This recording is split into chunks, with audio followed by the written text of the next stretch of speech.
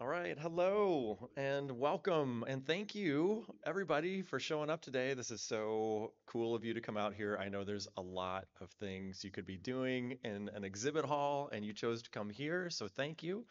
And uh, I'm here to chat with you a little bit about my artwork, which is featured in this new book, which uh, I thought I'd mention. You are part of a national tour where I'm letting folks know about this new book.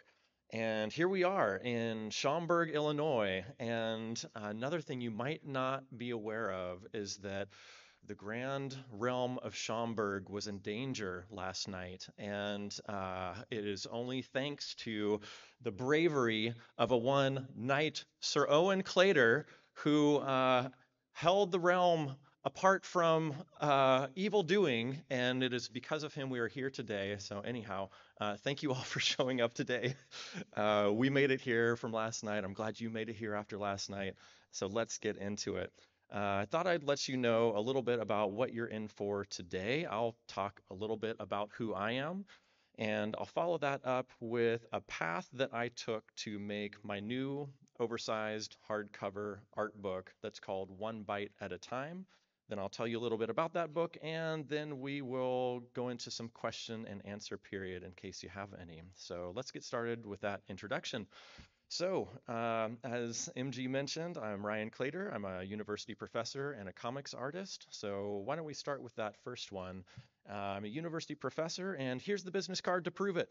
I teach at Michigan State University, and I teach the comics studio classes there. I feel really fortunate to do that.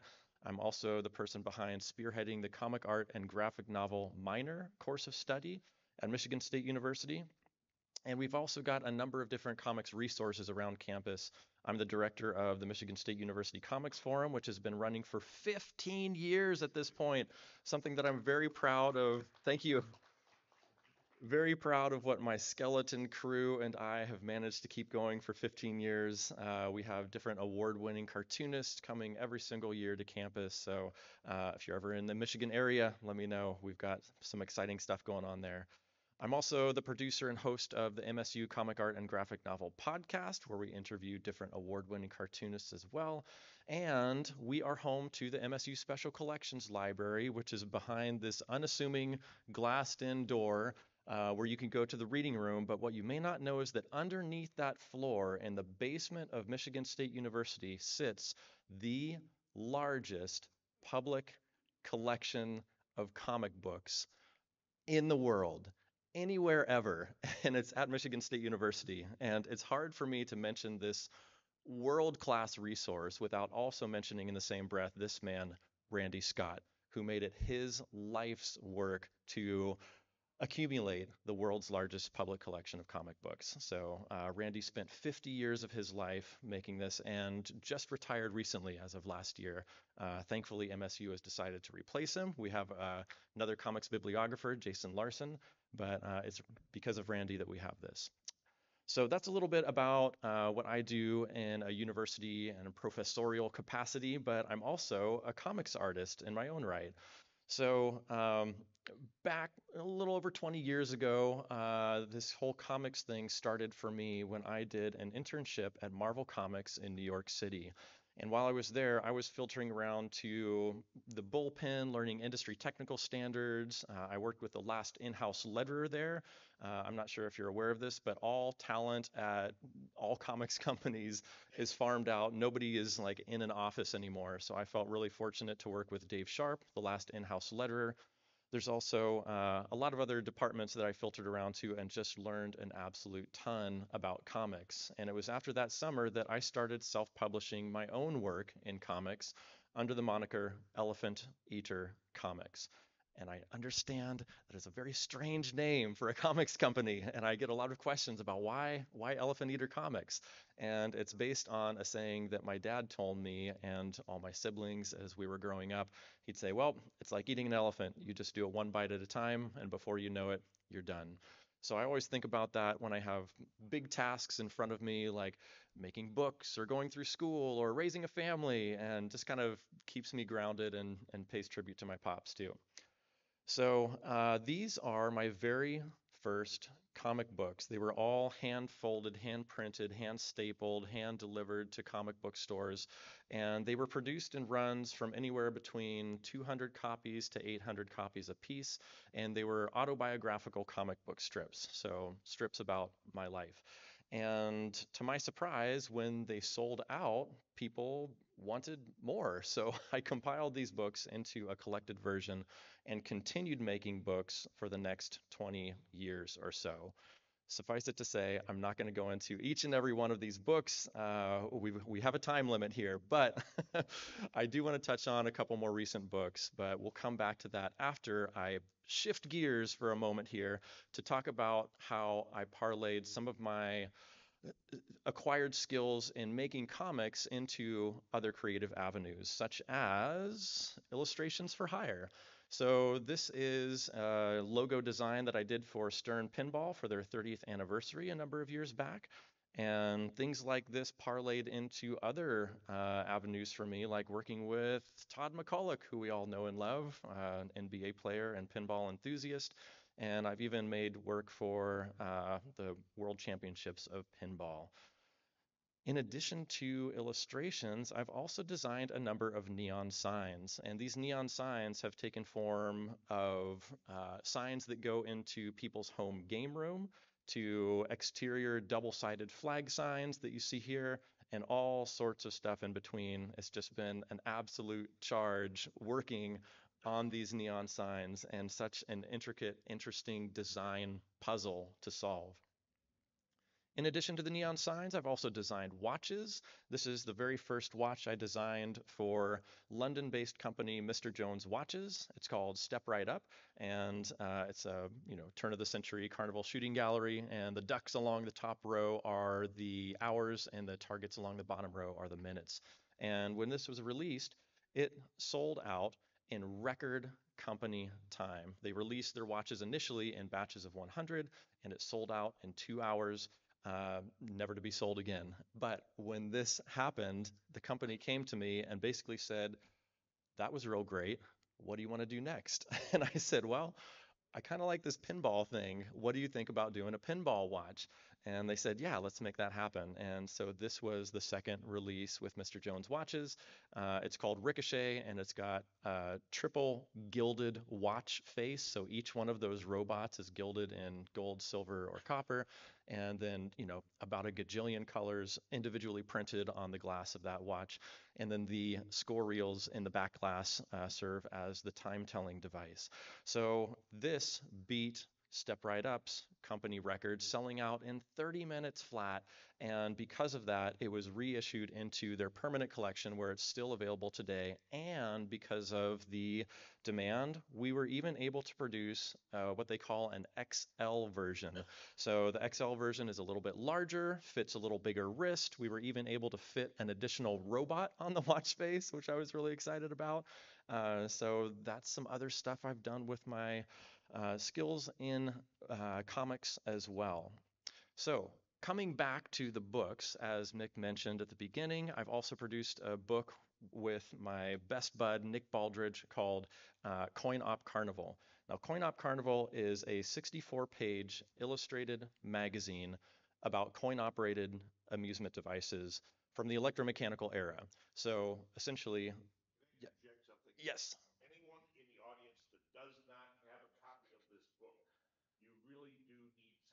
seek it out. It is excellent. You need it for your collection and your library. Thank awesome. Thank you, MG. I, it's true. I, am not even paying people to say this, but thank you very much. Thank you. I, I, appreciate that, guys. So it sounds like you might already know that this illustrated publication features stuff like uh, an interview. Uh, by the way, this is my co-writer and best bud Nick Baldridge. We created this together, and uh, I illustrated the whole thing. And inside, you'll find things like an interview with the most prolific pinball designer of all time. His name is Wayne Neyens. And we've also got game reviews, tech segments, product spotlights, paper craft models, letters columns, just a ton of stuff jammed into 64 pages. This was such such a labor of love, and we're so proud of how this turned out. In addition to all this, it even has full blown comics, like you see in the introduction on the left, and then the Wayne Leaves Western story at the right, detailing Wayne's move from Western Equipment and Supply Company, moving over to Gottlieb, where he worked the next 40 years of his working career. Uh, we were also really surprised and delighted to uh, be recognized for this work uh, by the Small Press and Alternative Comics Expo, who gave us their top prize, first place in the graphic novel category the year this came out. Uh, we also got a couple of other industry nods, like the TWIPY Awards for uh, um, the best pinball publication that year. Uh, we did not win; it was a nomination, but it's an honor to be nominated. And uh, yeah, we have the winner right here. Thank you. and we were also nominated for the Ringo Comic Book Industry Award.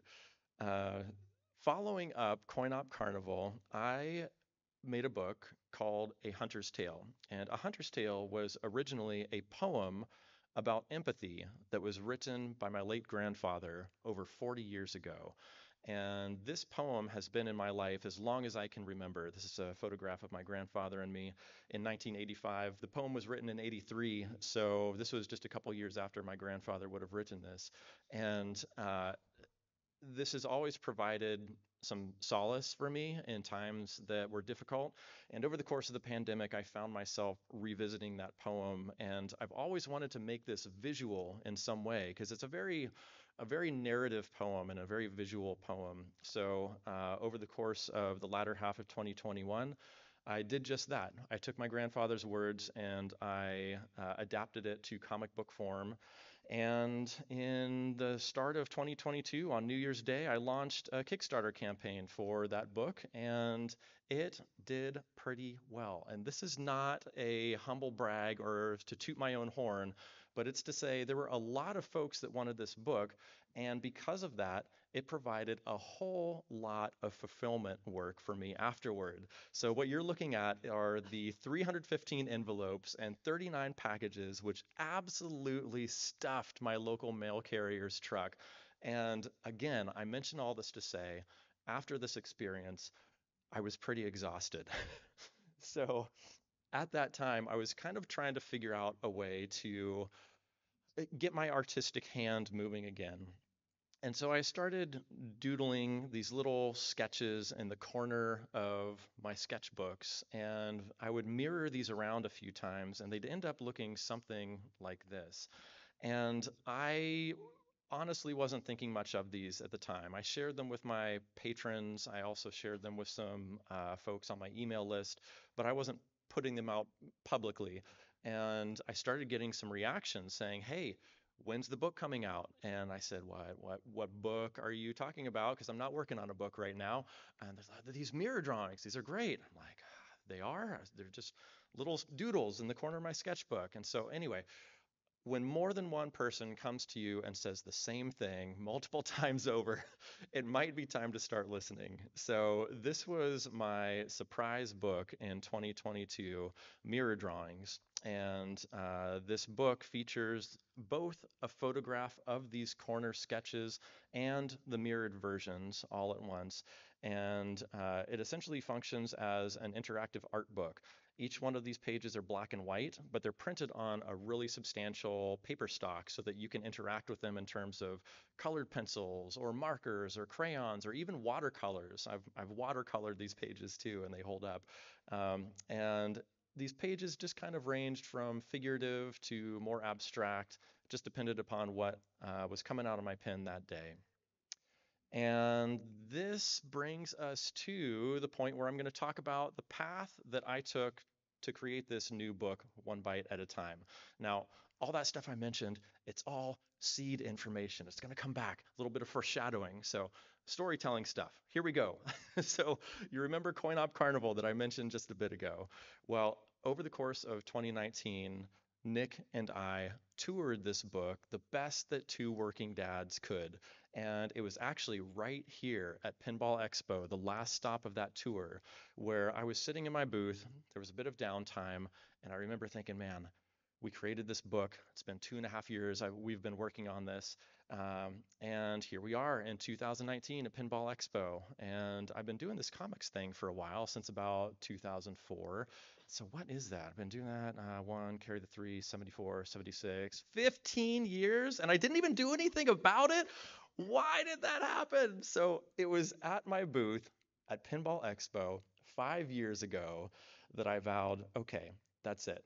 I've got to make some noise about my next milestone anniversary in the far and distant future of 2024. So at that time, I was trying to think of a way to celebrate that. And I make comics, I make books. So I thought, well, what better way than to create a book to celebrate that? And so I came up with the idea of making an art book.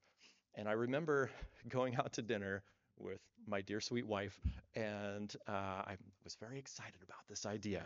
And I said, "Hey, honey, uh, 20, 2024, uh, I think I'm going to do an art book, you know, featuring 20 years of my work. Um, what do you think?" And I remember her response. Uh, she said, uh, "Why?" and my celebration, 20 years, it'll be great, right? She's like, ah, I, I don't get it. Like, what's the purpose behind this? Why are you doing this? And so I'm so grateful for having a wife that is so honest with me because it really forced me to hone the purpose for the work itself. And I'm a professor. I'm a teacher. I come from a long line of teachers. It's kind of in my bones. And so the book itself has a really heavy theme of process that runs throughout. So every single piece in there has some behind the scenes imagery showing how each piece came to be, explaining that process. So moving forward, I started to work on this book. And uh, one of the first pieces I laid out in the book itself was this neon sign that I made for our home arcade. It's something that I'm just incredibly proud of and so grateful to have in our home. And when I first illustrated this and first designed this sign, I thought, okay, I'm going to do this neon. I'm never going to be able to do this again in my life. So I better design it to the hilt. And because uh, this is my last time I'll be able to do it. So when I did that, so this is a spread from one bite at a time, showing a little bit of the process of the different iterations it went through. Um, I did not just make these eight iterations. Every single one of these iterations had multiple, multiple, multiples of additional iterations on top of it. And so I started trying to lay all these out. And again, these aren't even all four design or all eight designs that I showed you in that spread, but I tried to start laying this out in a way that made some sense and gave a little bit of didactic information about each one and still had a bunch of stuff piled up on the side. But I was really excited about this art book idea and I presented this to a friend of mine and I said, Hey, art book, 20 years, what do you think? Here's the first spread. And again, his reaction was like, I don't know, Ryan. This is this is a lot. I would not intake all this. it's too much for me. And that was another really key piece of information leading to this book to make it more presentable and more accessible to a wider audience. So I pulled back on the number of uh, iterations that I showed and really dialed down the amount of text so that I have essentially a feature image on the right and some uh, process work on the left. And occasionally I'll have an additional image where the piece uh, finally rests. So that kind of set me on a trajectory of, all right, now I have kind of a uh, template to work from for this book so that, again, hero image on the right, process images on the left, but it never just arrived at this point easily. so to start with, uh, there's some photographic work going on here, and I kind of had to teach myself studio photography for this. And it looks nice and museum quality in the book, but if you pull back that camera, it's not very glorious. So you see a couple of my pinball machines, which are holding up this, uh, it's a shipping box. I was doing most of this during the pandemic, and so we had lots of cardboard boxes coming in. Cut out the sides to make some, uh, you know, scrim on the sides so it could kind of diffuse the light. Got some desk lamps, piled those things up inside with a sheet of poster board to eliminate that seam, and then you'll see the final product on the bottom left here. But then I still have to piece this page spread together. So you can see me attempting different things where on the top, uh, on the middle left here, there's a couple pages kind of tiered together. I was trying to do this staircasey thing. It just wasn't fitting with the text I had there. So again, just kept it simple, pared that text way down, and even increased the size of the feature image on the right so that it became the actual size of the final printed book itself. So you can see it at actual size in the book, uh, which was really important to me. I wanted this book to be uh, a really authentic reproduction of many of these objects. So I tried to make them actual sizes as much as I could. And just to show you a bit more of the process of this, so here's uh, an image of a tour that I did in 2008 uh, where I was moving from California out to Michigan and where I still live today. And when I did that, uh, I thought, well, why not stop at a few comic book stores along the way? I made a tour out of it. But when we talk about the spread in this book, you can see, all right, well, here's the setup in my basement. I'm holding that uh, postcard because it was really important for me to feature the physicality of a lot of this work. They're not just pixels printed on a page, but these things have become physical, like in the terms of neon signs or watches or postcards or what have you. And so I photographed myself holding this and thought, well, my thumb's going to go where there's not a lot of art. But then when I tossed that in a page, it overlapped the inks and that wasn't really suitable. So I figured, well, maybe I'll hold it in a different way, toss that back on there. But when I did, when I compared it between the actual physical piece and the printed pixels, the colors were off. So I had to do a little more Photoshopery to make that a reality. Essentially taking this, uh, pulling apart my hand, overlaying the pixels on top of the photograph, then taking that photograph underneath and altering the color a little bit so that the shadows would represent in a correct way, and then placing that, and now the final page has color corrected postcards, uh, regardless of whether it was a photograph or whether it was printed pixels. So there's a bit about the interior, but I thought I'd also pull back the curtain on the book itself one bite at a time, which is featuring 20 years of my work in comics, illustration, and design. And what you may not know is that the title for this book was not always One Bite at a Time. Uh, it started out being called The Art of Ryan Claytor. And uh, I had a meeting after doing a lot of different uh, sketches and design work. And you'll see here in my sketchbook how I start working with thumbnails. There's various iconography like pinball machines and neon bending and watches that I hope to include into the title itself. Uh, even a bunch of different fonts for the number 20 so I could figure out uh, the design sensibility for this. And moving forward, I thought, okay, I think I've got what I want, and took some of these sketches and digitally pieced them together and tried to make this conglomeration of artwork where I had a lot of these elements, uh, visual elements, incorporated into the title itself. Uh, I tried to mock it up on a book, uh, played with some different colors, and originally my thought was to have a die cut cover, which is a fancy printer term for saying a hole cut in the cover, to reveal the number 20. And when you open the book, you would see a sequence of numbers 1 through 20. And there's a little icon on that number 1 representing the idea was to include some milestone work from each year illustrated next to the number. And then when you got to the number 20, that would be revealed on the cover itself. Um, that did not happen because uh, I was very interested in having a cloth bound cover, which I'll talk to you about in a minute here. But uh, basically, you can have a cloth bound hardback book, you can have a die cut hardback book, but you cannot have both. You've got to choose one because if you die cut fabric, that's going to start fraying on the edges over time and look like doo doo. So uh, I had to make my choice and I chose fabric binding. So this idea is another one that kind of fell by the wayside. Now, I mentioned the title of the book was originally The Art of Ryan Claytor. And I had this uh, strategy call with sort of a comics and crowdfunding uh, guru. His name is Tyler James. And we were talking about my upcoming project, this art book. And he's like, Well, what's it called? You know, pitch me your book. And I told him the title. And he's like, Well, how wed to that title are you? And I said, Well, I mean, I've still got time. Things are malleable. What are your thoughts? And he's like, Well, it sounds like an amazing book, but if I'm not a Ryan Claytor fan, if I don't know who you are, I'm probably not going to pick up that book. So, like, is there anything else you could call it? So that kind of sent me into a, a, bit of a creative tailspin. But I started talking with my great buds, Nick Baldridge, and also Don Walton of the Pinball Podcast, you may remember. And it was in one of these conversations where we were brainstorming together, and Don said, one bite at a time. And I lost my mind. I could not believe we had not thought of this before. When Don said this, it was just like, okay, we stop. That's it. Like there's no more brainstorming at this point. It was always meant to be.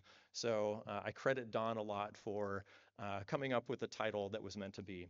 So uh, I started uh, sketching all over again and then started piecing these together. And even once I did this, I'm moving things around and trying to get hierarchy just right. And oh, yeah, I forgot my name, so let's include that too.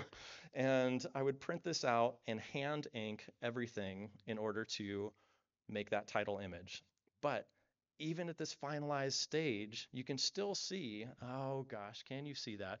There's sort of a paste up of the number 20 there. And underneath that number 20 used to be something a little bit different.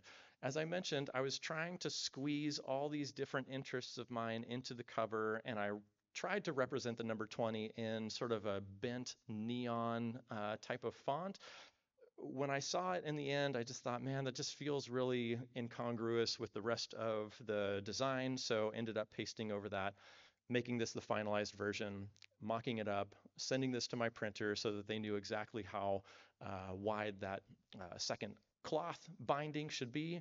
And now we have a completed book. So um, jumping ahead a little bit. We don't have a completed book yet because it's 2022. I'm still working on it. Uh, so it was during this time when that surprise book came about, Mirror Drawings.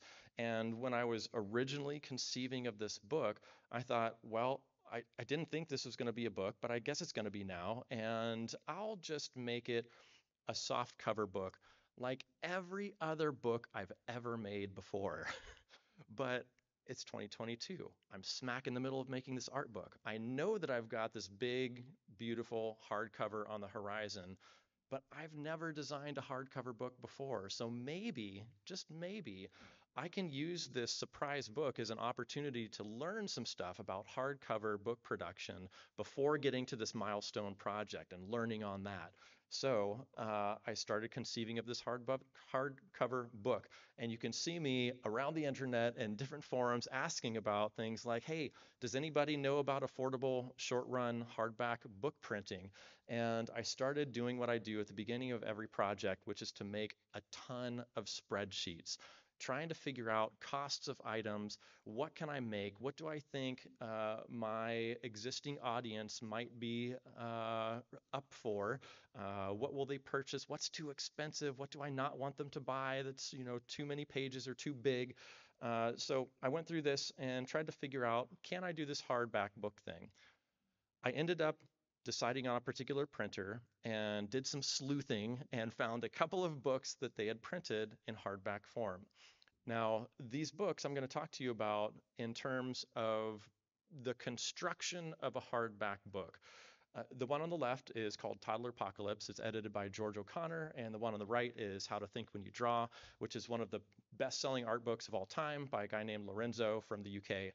And they're both hardback books, both printed by the same printer that printed mirror drawings, but they're bound in a different way. So I'm I'm about to get real deep in the nerd book talk here for just a moment because I thought that this was really important leading into one bite at a time. So, starting off with Toddler Apocalypse, this book is glue bound, which means you basically have a bunch of individual sheets of paper and then they're slathered with a bunch of glue on one side, and that's what holds it together. Wrap a cover around it, and you've got a hardcover book. Now, that is good in terms of economics. It's pretty cheap to print a glue bound hardback book. So I thought, well, that's how I'm going to print my mirror drawings book. That's how I'm going to print my uh, one bite at a time book. But when I got this copy, I found out, oh, wait a minute. Uh, this book can only open so far. And it, it's hard to see on this shot, so I'll try to move the camera down a little bit here to show you. This is the maximum amount this book can open. You know, it's like the top of my hand. So what is that, like three or four inches? off the ground. And if I push down the cover, the back would come up, or if I push both down, it would crack the spine. So I knew for mirror drawings, I did not want that to happen because I was marketing this as an interactive art book. You know, people can draw and color in here, and you can't do that if the book doesn't lay flat. So I knew, okay, I need to find another solution, especially because with glue binding, it also kind of like eats part of the image on the book. You know, it doesn't let it open fully. So the other book I mentioned here is Smith sewn bound. So with Smith sewn binding or sewn binding, essentially you have a lot of different signatures, and a signature is a fancy word for a lot of pieces of paper folded in half, put into a group. And when you put all these groups together and sew them together, then that makes a book. So if you crack this book open and look inside one of those signatures, you'll actually see it is physically sewn together. And that is what allows the book to lay open flat. So this was a huge lesson for me in hardback book printing and manufacturing and binding. And that basically sent me back to the drawing board saying, okay, well, now I've got to create more spreadsheets and more spreadsheets and more spreadsheets to figure out if this is even possible. Long story short, it was possible for mirror drawings, and I made sure it was possible for my next book, One Bite at a Time. Because again, this is 20 years of my work in comics, illustration, and design, and I really wanted this to be a prestige object. So, the book itself, it's here, it's physical, it's in the now. Uh, I ran a crowdfunding campaign for it, and I know that's a dirty word in pinball, but it's not a dirty word in comics. So I just want to assure everybody that a pre order model is not necessarily a bad thing if you know and trust the folks that are doing it. So I've been doing this for 20 years. I've spent a long time trying to build up trust with my audience. And so I'm very happy they were willing to come along on the ride because if they didn't, I would not be able to make this thing I'm about to show you. It is very fancy. so let's get into this. Um, so I mentioned some of these books that I've made in the past and that I'm reprinting some of my comics, but it's not just reprinting the interiors of the book. It's actually showcasing them with this museum quality photograph and including some of that process imagery that I've mentioned before. So on the left, you'll see a number of different blue line thumbnails that I went through to make the cover design. On the bottom left are the final pencils, then inks, and final image on the right. Uh, the other color image you see there is actually a second cover that I made for it, which I never do for my books. I never take multiple covers to complete fruition. And this one I did because the project was so near and dear to my family. You know, this was my dad's dad's poem. And so I presented these to my dad and my mom and said, "Hey, what do you guys think?" And uh, you know, ultimately we printed the cover that they were most comfortable with, and uh, the rest is history. So uh, there's also other books in here like Coin Op Carnival, where I'll again pull back that creative curtain and show you the creative process for how this book came to be. But there's also a number of different illustrations, like my work in pinball for different pinball events and podcasts and companies. And uh, here's the Papa World Championships. And uh, Robert and Kathy were kind enough to send me a photograph of Robert with his uh, his winning shirt on as well. Uh, I'm really glad to include Robert in this book too. So thank you, Gagnos. um, there's also the neon work that I did. And when you get to this section, you start to see how I will work with a client. So on the left-hand side, you'll see a number of sketches that I'll present to the client saying, hey, we, we could make something that looks like this or this or this. And once the client chooses one of those options, we'll move forward with a number of different color comps. And once one of those color comps are settled on, we move forward with final fabrication of the product. So you see the product and where it ultimately hangs. I mentioned that another important thing for me with this book was to showcase the physicality of these pieces. And so often you'll see um, these big double page spreads really allowing you to get into the nitty gritty and close up with these pieces. Uh, because again, it's not just printed pixels.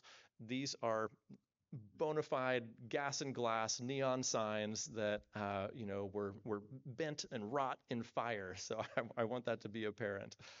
Um, I also show my watches and some of the process, like that that top left image there, that sketch is something that I I never showed anybody before this book. It was just too too poopy to show anyone, even Mr. Jones watches. So before I proposed this design to them, I refined it over to the right. Uh, and you'll also see uh, me in my, my studio wear, my sweatpants there. And that reference photograph is because uh, one of my artistic limitations is I have a difficult time drawing foreshortened limbs, like long things pointing at you, like breaks my brain. And so uh, when I had that guy with the the shooting gallery rifle, I had to figure out what those limbs were doing in space. So that's a photographic reference moving forward to those final printed discs. And I even take it way back to my grad school days where I was making things like interactive games uh, that were illustrated. So you can see the uh, run cycle of the protagonist, the uh, comic book artist with uh, questionable fashion sense and his uh, socks and sandals running around with a comic book, interacting with various folks around this looping environment who all say, mildly dis- disparaging things about the medium of comics. And the secret of this game is that every mildly disparaging thing that's said about comics in this game was actually said to me in real life. so this was like my my opportunity to kind of work through some of these passive aggressive sentiments about a medium that's really important to me. And at the time, they kind of, you know, knocked me on my heels and I didn't really know what to say. But, you know, working through this, I was able to think about, well, if I had it to do over again and I could educate them in a respectful way, what might that look like? And so, again, that was uh, a, a game that I made in grad school. And because process is so important in this book, I've also included a number of scans of my original artwork leading to some of these pieces, like the Wayne Neyens page you see here. And if we look a little closer, you can see these are really high resolution scans that show not only the artwork, but also the original pencils that were laid down first and are a little bit different with the inks, the multiple ink strokes, this texture of the page. But I did not just print this on the page, I printed this and then asked the printer to die cut a number of holes in the page to reveal the final colored piece behind it so that you can see the before or the original artwork or the after in the colored piece or the before and after at the same time as you see them both through one another. So that's just one of many specialty formatting options that exist in this book. Uh, another one is this sheet of vellum. Uh, I mentioned one uh, of my many artistic limitations, and I'm going to tell you another secret one right now is that I have a hard time drawing interlocking objects. And what has more interlocking objects than a pinball machine? so when I tried to illustrate this, this really took me quite a while to figure out. And when it was, you know, coming to fruition, the only way I could wrap my head around making these ramps was to illustrate them on a separate sheet of tracing paper. So that's how it existed in reality. When I reprinted it in the book, I wanted that to be as authentic as possible. So I asked my printer, hey, can we print this on a sheet of vellum and overlay it? Can we get that to register just so, so it lines up with the artwork behind it? And you see the result here. Another specialty format, formatting option is uh, are, are, some gatefolding pages. So you see a couple of vertically gatefolding pages here, and uh, initially on the right-hand side of the page there, you saw an MSU Comics Forum poster that I illustrated. When I originally illustrated that poster, it was 18 inches wide by 24 inches tall on the original artboard. So these pages fold out to show you that original art at the original size. Uh, and then there's a horizontally gatefolding page as well. These are a bunch of pancakes that I illustrated for my son over the course of the pandemic. So, um, you know, it was in some of those early pandemic months that I was trying to figure out a way to give my son something to look forward to. And I can't look in the audience because he's here. oh my God. So, um, I made one of these at one point and uh, set it down in front of him, and you know his mind exploded. So uh, this kind of became a weekly tradition for us, and uh, every Saturday we'd make a different pancake, and uh, this really became a fun tradition not only for our own family, but also I started posting these online, and people started to expect these every week. And on the rare occasion that I would not post a pancake, I'd hear about it. Like, hey, where's today's pancake? My kid needs it needs their pancake. so uh, this is a really uh, fun exercise over the pandemic and kind of kept us sane too. So that's a bit about the interior of the book, but I haven't even talked about the exterior, which is also very fancy. In fact, it has dual cloth binding. I'm not sure if you can tell this or not, but it's actual cloth that wraps the book. It also has dual foil stamping on the front, spine, and back cover, in addition to copper gilded page edges to match the cover, built-in ribbon bookmarks, and it goes on and on. I won't bore you with all the print specs, but suffice it to say, it is a very fancy book that I'm so proud of after having worked on it for five years straight. It's finally here. It's finally real. And before I take some questions and answer them, hopefully, I want to take just a minute to give a big thank you to a couple folks out here, Martin Ayub and Jonathan Joosten, who are recording all of these seminars for us and archiving them online. So thank you both, Jonathan and uh, Martin, for doing this. Uh, and if you are looking for me in the expo hall, I'm located right across from Stern's red carpet. If you turn around from Stern, I'm right there. Uh, and I'd be happy to chat with you if we run out of time in this seminar. Okay, so uh, if there are any questions, I am happy to answer them. So thank you for being here and being a part of my national book tour. And uh, I so appreciate you being here. Thank you so much. um, I wanted to ask, a, I wanted to make a comment and then also ask Ryan a, a question. Ryan and I have been uh, working together on various projects for a number of years myself in the support role, and he is the creative. Um, I noticed you did a poster for Pinball at the Zoo, which is probably one of the nicer small shows in the Midwest, and I'd recommend that to anyone to please attend in Kalamazoo, Michigan. Yeah. In case you didn't know uh, what the zoo meant. But um, uh, I wanted to also mention the fact that the way that you're binding this book is very similar to a company in northern Michigan called Presscraft Papers. And I can't think of the name of the artist at the moment that uh, had recently passed away that uh, hmm. she did these her books in that way. But I wanted to ask the question um, will we see anything more for from Coin Op Carnival, please? my perennial question I need to answer. Will we see anything from CoinOp Carnival? Yes, we will.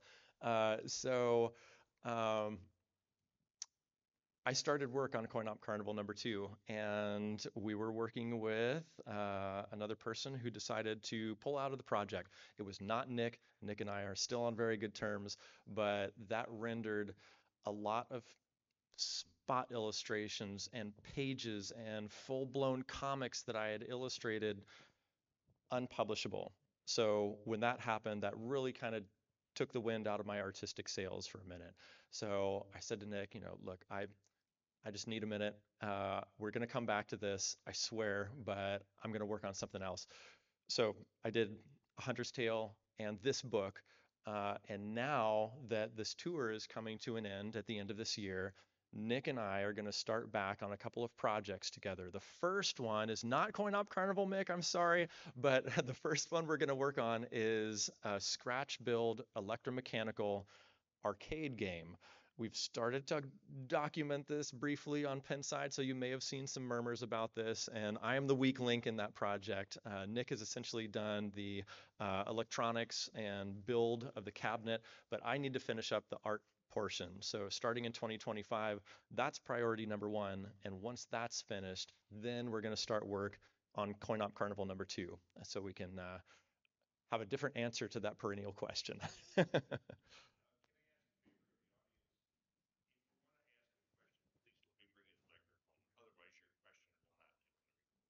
Awesome. So Mick's asking to uh, make sure you've got the mic before you answer or ask a question. That's what I'm saying. Go ahead. Well, Ryan. first, obviously, I love your work. You know that. We talk. I bought lots of your stuff. So thank you for all the work you do. Thank you for coming today, Ryan. Absolutely. That means a lot to me. My question is Will there be more watches? well, I hope so, but I don't know for sure. Um, I've proposed additional designs and they have been rejected. In fact, one of the rejected designs is in the book. Um, I was making these mirror drawings I showed you up there, and again, my brilliant wife said, you know, th- this would make a really great watch face. And oh wow, that's that's probably true. That would. So I I started sketching, and I'm like, I can see what this looks like in my mind's eye, but it looks like garbage in the sketch. So I'll just take this to final inks and maybe that'll look all right. But then uh, again, it was hard to see what was going on. Again, I I knew what it was supposed to be. So I'm like, all right, I'm just going to take this to final colors and show them the final thing. And then I think they'll be excited. And they were not. but it's printed in the book so you can see what it would have been. Uh, but again, I have been self-publishing my work for a very long time, and uh, it's only in recent years that this collaborative effort, like Nick and I on Coin Op Carnival, and Mr. Jones Watches making these watches together, uh, Neon Signs with Josh Goodacre of the Neon Shop. Uh, these are all like really positive collaborative efforts. And so, all that to say, prior to that, I wanted to do something and I got it done. And now there's more cooks in the pot, which is great because things can happen that I could not do on my own. I cannot make a neon sign. I could not make Coin Op Carnival without Nick. You know, without the you know, power duo of Nick and I, that that book would not be what it is. Um, but uh, all that to say, I think I wanted to focus my attention on things that I knew were going to get finished. But moving forward, I'd like to, I have some ideas that I just need to sketch out and send their way, not in a final completed form. So hopefully I'll take a little less of my time before I get uh, hopeful approval from them. So we'll, we'll see how it goes in the future. Yeah, good question though. It's funny, my question's also about collaboration. So I got into you maybe a week and a half ago um, with Coin Op Carnival. Awesome. Um, and uh, I just wanted to ask you about uh, your collaboration with one of your closest, at least in proximity, collaborators, uh, Owen Claytor. yeah, yeah, let's hear it. Was there a, a specific question about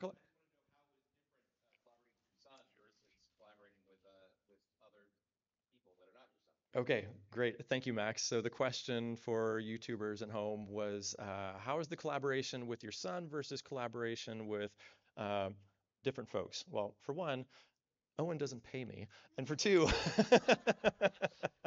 no, it's it's such a joy to work with Owen. Uh, you know, he made his own book during the pandemic, totally of his own volition. This was not, yeah, agreed. Great job. Um, this was not comics daddy lording over him making this book happen. This was Owen sitting down and saying, I want to make a book. And I, I told him, you know, if you want any help, I'm here. But he didn't need it. He made it all himself. And when he was done, he came to me and said, Hey, daddy, I want to take this book around our neighborhood and, and sell it. And I said, ordinarily, that would be a fantastic idea. I'd love to make that happen with you, but global pandemic, et cetera, et cetera. But I've got an idea. There's this thing called Kickstarter where sometimes folks will put their work online and sell it. And we did that. We put together a campaign entirely in Owen's words.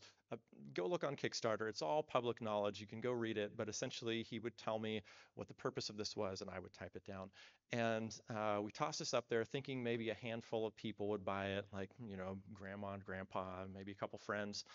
And over 300 people bought this book. We socked away a couple thousand dollars for his college fund. He was able to buy some toys. Just it was such an incredible experience. And all that to say, his book is also downstairs at our booth if you're interested. Uh, but yes, it, it was it's just such a joy to see him when he feels like being creative. Yeah, it's amazing. Thanks for being here, Max. Um, my question is, have you ever thought about making a deck of cards? Funny you should ask. Uh, so it sounds like you've got some inside information there, young man. Uh, so yes, one of my you know billions of interests is uh, artist designed playing cards, and I've always thought it would be interesting to illustrate my own deck of cards, and I've been coming up with some ideas for what that might look like. I haven't I haven't made any big strides toward that yet. So again, don't get hopes up, but that might happen in the future. Thank you for your question. Hey, Ryan, I'm here.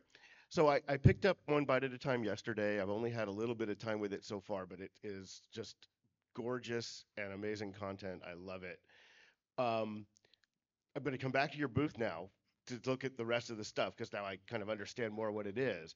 But the um, the mirror, I already forgot the name. Mirror Mirror drawings. mirror drawings. Yep. I loved your animation that you were showing here. I know that's not going to be in the book. Have you thought about animating all of them? And what one thing I noticed in that animation, if I looked at the middle, the edges seem to move, and I don't know if you did that on purpose or is that an artifact or I, So the animated version of that was created for a stop on my book tour that I did at a planetarium. So if you can imagine that animation blown up to full dome size, that's what it was originally created for.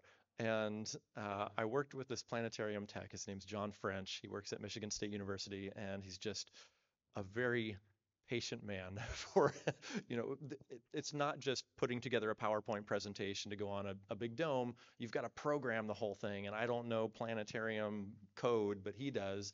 So anyway all that to say we worked together and when we tossed that on the dome and got that slight spin to it we both just kind of sat there in awe for a minute like and john was asking me hey do you have more of these? We could put this together into a planetarium show or just have a nice lunchtime relax for students. Um, and so anyway, that just happened. So maybe we'll do more of that. I haven't committed to anything, but it was a, a pretty big charge to see that projected like that. And I'd love to see more. So we'll see. We'll see how it goes. Yeah, yeah, true, true. The suggestion was thinking about VR. I think we might have time for one more question. I see there's uh, just a couple minutes left. Yep. Question for Owen, actually. Aha. Uh, are you interested in pursuing a career in art? ah, pressure's on. Uh, I have been thinking about it. I've been also thinking about like other designs for books I might want to make in the future. Uh, I was working on this book that was called uh, Catman. Um, it's basically uh, in this laboratory they were doing tests on like a human and a cat, and like normal story, something went wrong. Uh, and it created a Catman. Uh, so far I'm like around eight pages into the book. I'm guessing it's going to be around 30. Um, but that is my next plan. Um, but I have been thinking about that. But I'm only 11, so I still have a long way to go. Well, I don't know of another better way to end this seminar. So why don't we call it quits there? If anybody's interested, we'll be at my booth right across from Stern. Uh, thank you so much, everyone, for showing up today. I super appreciate it.